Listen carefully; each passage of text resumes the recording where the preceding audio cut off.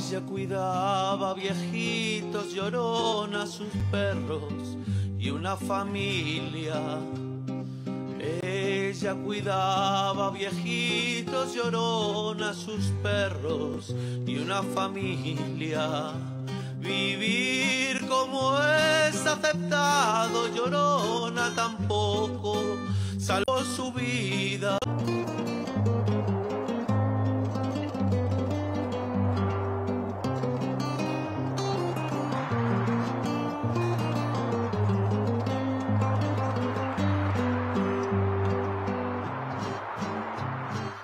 A las personas trans llorona nos matan todos los días.